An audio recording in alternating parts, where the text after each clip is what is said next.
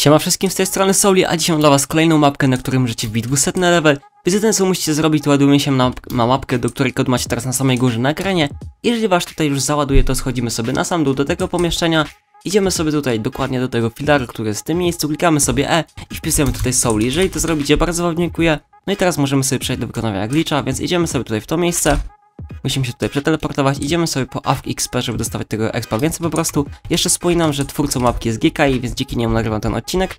Jeżeli już to zrobicie, możemy sobie iść dalej i w tym miejscu będziemy mieli ostatni przycisk, więc idziemy sobie dokładnie gdzie jest ten timer i klikamy sobie tutaj w tym miejscu E.